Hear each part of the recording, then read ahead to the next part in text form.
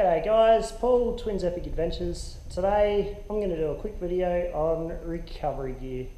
So let's, uh, let's go. Righto, starting down here.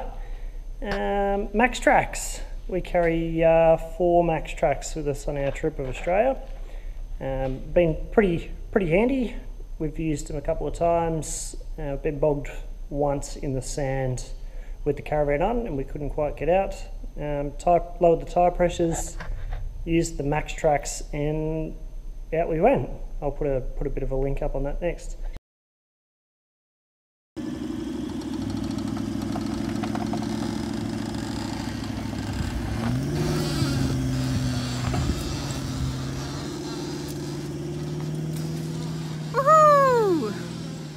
Also, you'll need a good quality shovel. Um, I carry a long handled shovel. Um, you can use these MAXTRAX as shovels, but they're not quite as good as using a long handled shovel. From there, we'll go across to what we were talking about it tire deflator. So it's always handy to have a tire deflator. Drop those pressures down when you're going off the bitumen. Um, if you're going anywhere gravelly, dirt, sand, mud, you are going to want to drop your pressure of your tyres, otherwise you probably are going to get stuck or come into some strife with tyre damage and the likes. Um, once you've dropped the pressure, obviously when you hit back the bitumen, you're going to need to reinflate them. Um, so you're going to need some sort of air system. We run an ARB uh, single compressor, but I actually have two of them, so I've linked them together and I have an air tank and an external point in the back of the car to pump up the tyres on the car and also reach the van. Um, righto, where do we go from here? All right, so talking tyres, uh, good puncture repair kit, very, very handy to have.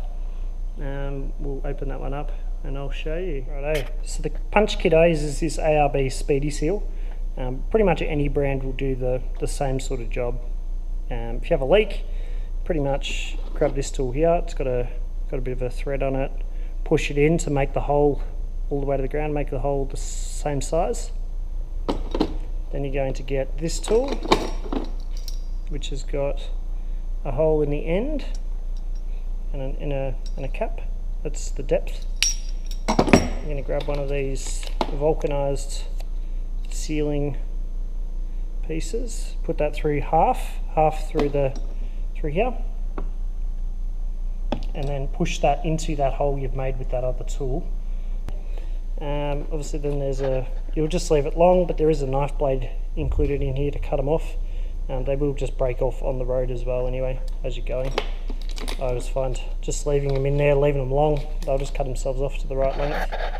Um, yeah, also comes with spare spare valves, valve re removal tool and a couple of ends, plastic end, metal, and as well as a couple of um, tyre valves you can just pull into the tyre using that tool. Right, so that's that's a very handy handy thing to have. I recommend everyone have one of those. Um, it's got a got an instruction book too, obviously. So if you're not too sure how to use it or competent, you can just read the instructions, um, and that will get you out of trouble. Righto. Next thing you're going to need is a good quality jack. Um, we have two jacks. I have a bottle jack and I run this ARB jack, um, which is so it runs the same technology as what's in the BP51 shock absorbers from ARB. Um, super, super good, really handy. We've used it quite a few times. Lift the car off the ground, no raise at all. It's rated at two ton, um, so it has no raise lifting up heavy vehicles such as my the front of my Cruiser or the back or whatever. Um, from, but you will need to use, obviously get a plate. So this just sits in here, like that. Um, for obviously just to give you a larger, larger pushing point on the ground, larger surface area. And yeah, real good. I'll show you, I'll actually show you that lifting out the car a bit later. Uh, from there, good set of gloves. So gloves are handy when using any, I suppose, any of these straps or any of this sort of stuff that we're going to talk about next, and obviously the winch. Um, put them on your hands, keep your keep your hands clean and not all scratched up and destroyed.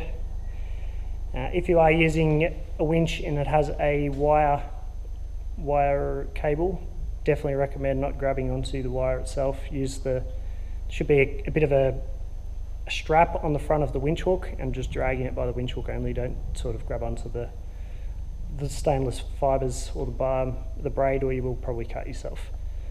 Um, righto, from there, snatch strap, pretty self-explanatory. Put it on the back of your car or the front of your car, put it on someone else, and leave a little bit of little bit of slack in between it, and let the kinetic force build up between the strap to recover you. Um, I also like to have one of these, which is just a snatch block. We use this, um, we actually have recovery points on the back and the front of our vehicle, but I have this in case someone else is going to recover me because I no way do I want to be recovered from the back of someone's tow ball. Um, straps, snatch straps should not be attached just to tow balls, tow balls kill. Righto, that's enough of that.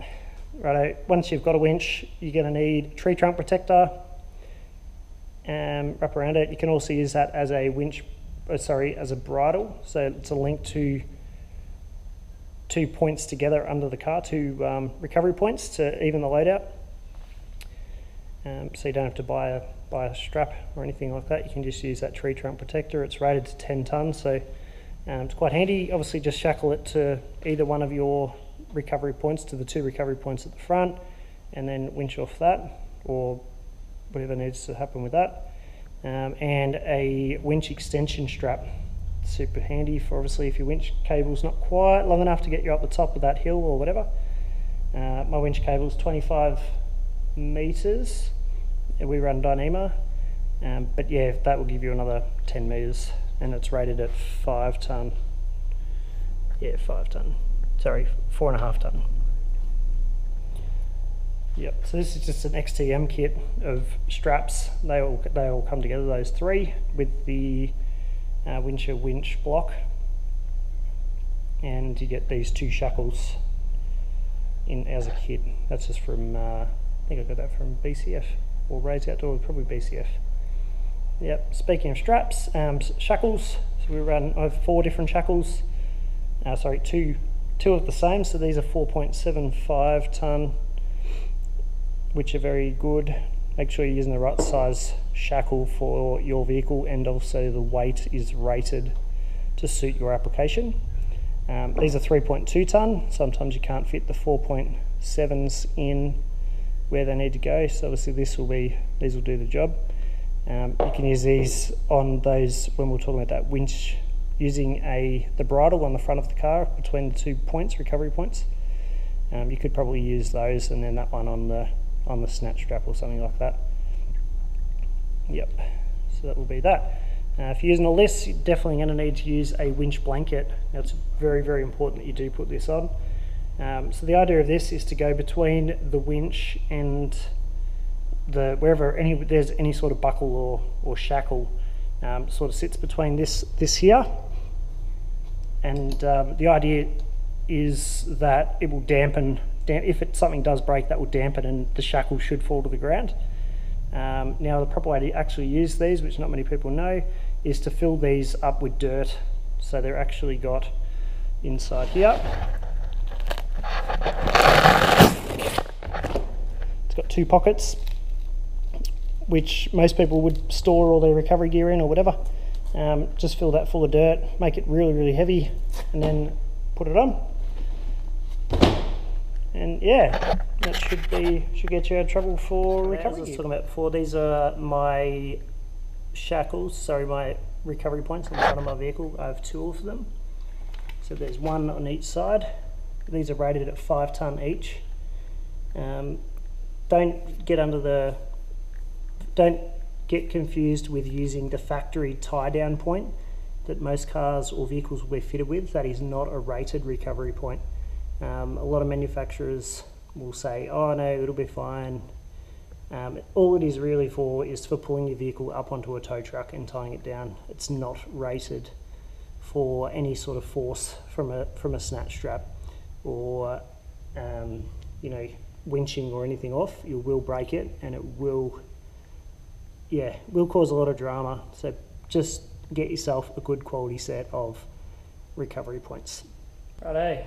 Last thing on my list is need in recovery gear is a good quality winch. Um, we've got a Warn 9.5 XPS on the front of our Land Cruiser, um, nine and a half thousand pounds. It's been been really really good. I've only had to use it to, to recover other people. I've never actually used it to recover myself, um, but we have had pulled a Prado out that was buried well and truly below the diffs. Um, it had plenty of pulling power to do that properly. Um, yeah, so that would be last thing on my list. Um, we run Dyneema rope, as I talked about earlier. Um, I like Dyneema rope over cable, um, purely for, uh, I suppose, the, the ease of use and things like that. Um, one thing to note with Dyneema is it must be looked after properly and appropriately. After you go out for a big, um, through water crossings and things like that, you need to wash the rope.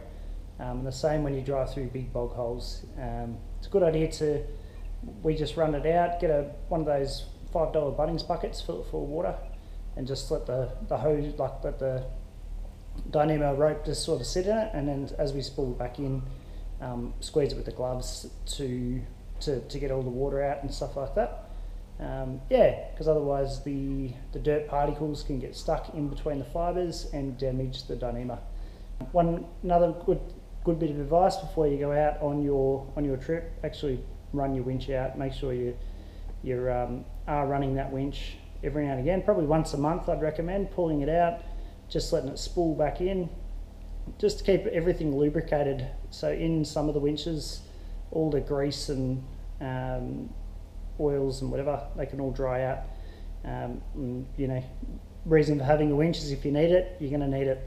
So you, want to make sure it's working and working well um, and not all dried up and seized. So yeah, just give the clutch a bit of a bit of a flick, make sure it free spools out, engages, put it up against a tree, put your handbrake on and your foot on the brake, um, and slowly, slowly, like let the winch actually pull the vehicle against that tree while you apply some braking force just to so you can actually see it is working and pulling and it will get you out of that big bog hole that you're stuck in. Shall the shall the, the need come. Thanks guys. If you're liking what you're seeing please like the channel subscribe comment share. Um, yeah and I'll continue to try and keep up with weekly videos for you guys. Alright guys. See you out there. Bye